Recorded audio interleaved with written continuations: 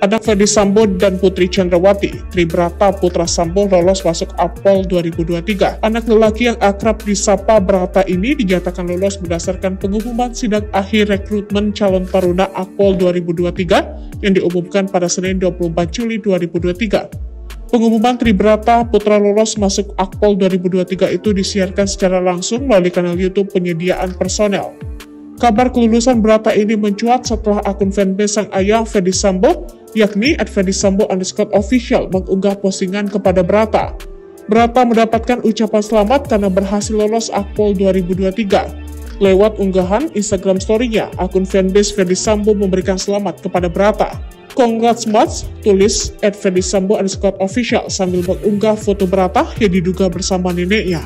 Selain sang ayah, Brata juga mendapat ucapan selamat dari sang kakak Trisa Angelica.